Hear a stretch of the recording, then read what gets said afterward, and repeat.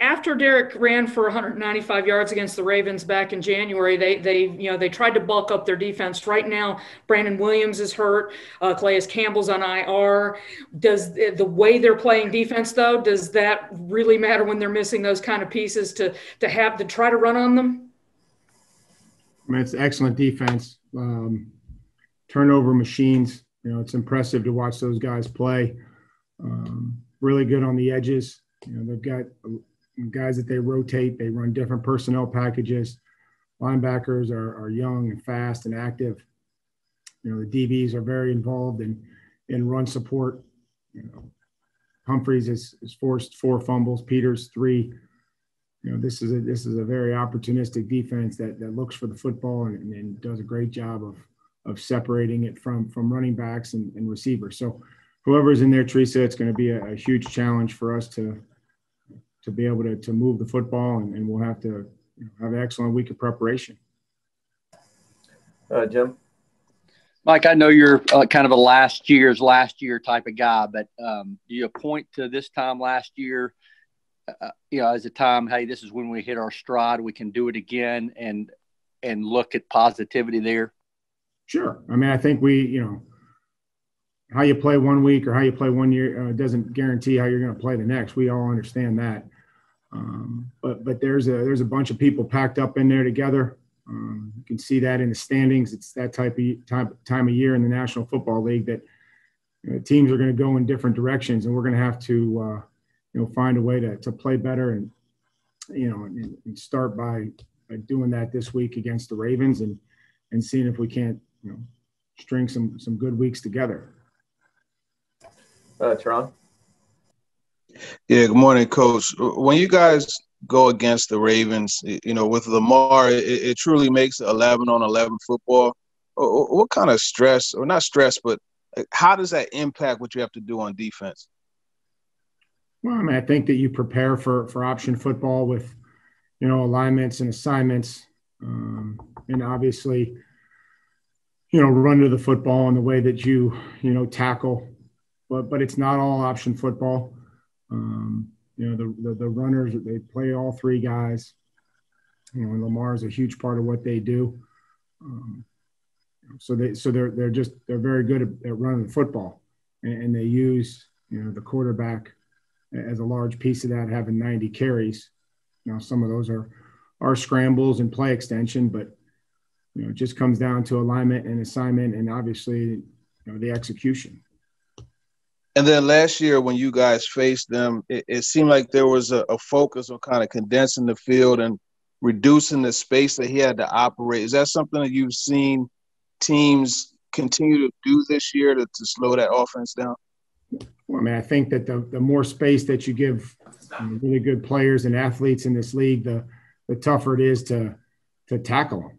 You know, you're going to have to be really good tacklers, or you know, try to find a way to use the um, you know the sideline to your advantage, knowing that, right. it hasn't missed a tackle. So um, it, it's easier said than done. You know, I mean, there's times where you know they they they they get north and south and, and gain a bunch of yards. Thank you, uh, John. Mike, uh, wonder if you could talk about the decision on the on the punter yesterday to to waive Ryan and and keep uh, Trevor at least on the practice squad there. Uh, in, in making that decision, how much do you uh, you know consider practice in that, and how much do you consider game performance in that? Yeah, we, we've we've touched on on a lot of the the punter conversation, John. I know that you know, that was something that we talked about. Practice is is critical. You know, game performance obviously something. Um, chart and hang time and and and those types of things. And and you know, we'll see if we can you know, you know where Ryan's at and his availability to you know, to potentially return to the practice squad. Um, you know, we, we, we believe by watching practice and, and what those guys have done, um, you know, we, we, made the decision to on the roster and, you know, it, I, know that one punt's, you know, not going to define Trevor. We, we believe in him, you know, believe in his leg, you know, the way that he swung it. we're going to have to protect better. Um, so, that, that you know, we'll, we'll, move on to this week and have a, have a great week of practice. Okay. And sticking with the kicking theme, uh, just wondering what your thoughts have been so far on uh, Tavecchio. I know he's a guy who hadn't kicked in the league for a couple of years. What have you seen from him so far in, in practice?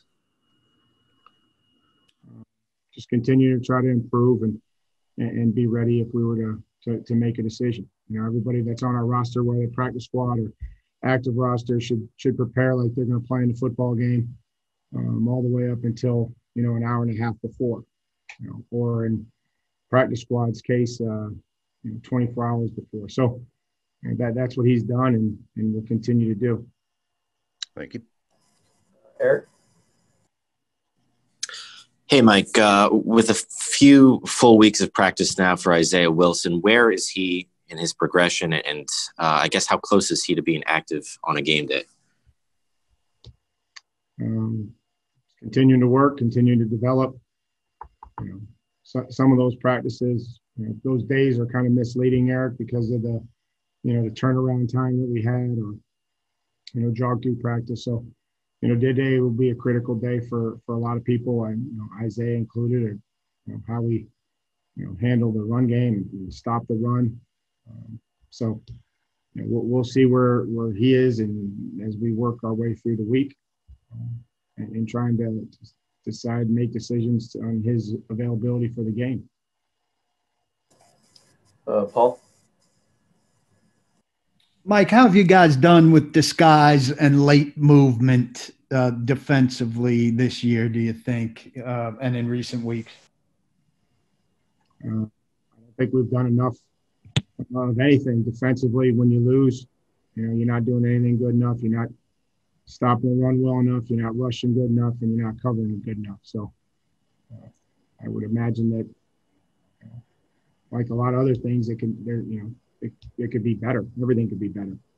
Is that still something that you uh, aim aim to to be a core thing for you guys in terms of uh, confusing a, a, quarterback and an offense uh, near the snap?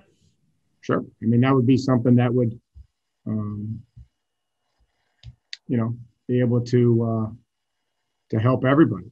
You know, and there were times where, you know, in the game it was, you know, it was pretty good, and you know, there were times in the game where it wasn't good enough, or and we made mistakes in, in doing that. So you know, there, there's a balance there, uh, making sure that you're in a position to you know do your job, that you're aligned correctly, but you know not letting disguise override your you know assignment. Uh, Terry. Mike, obviously it's important to try and get a lead, but with the way the Ravens are built offensively, is it even more important to play from ahead if you can in this game? Uh, because it seemed to work out well last year for you when you got up 14 nothing. Sure. You know, I mean, they start fast. This is, you know, it's a team that, you know, plays with a lot of speed. Um, they're turning the ball over. They're capitalizing. You know, they're leading their football games 143 to 83 in the first half. So they're building, you know, a substantial lead um, by the average. Um, and, that allows them to play to their strengths, run football, and um, you know, pressure, pressure the quarterback, pressure him into mistakes, interceptions, sacks, long yardage situation. Uh, Jim? Mike, you guys activate Senorise Perry today. Pretty crowded that position with Jeremy and D'Onta. Of course, Derrick and then Darrynton on designated for return. What are you going to be looking for here over the course of the next week and maybe the next couple of weeks to, as that position kind of settles down? looking for the guys that can help us win. You know, guys that can uh, are versatile, that know their job, that can play on fourth down, can protect when they're asked to protect. A lot of those types of things, Jim. And, and, as far as crowd, I mean, going back to no fans on Sunday, you've dealt with that during the course of the season. Will it be any more challenging now if you've had fans in the stands, or is just you just approach it like you always have? Mm, just imagine that we approach it like we always have, and hope that we play well and you know can understand the keys and and how to execute them.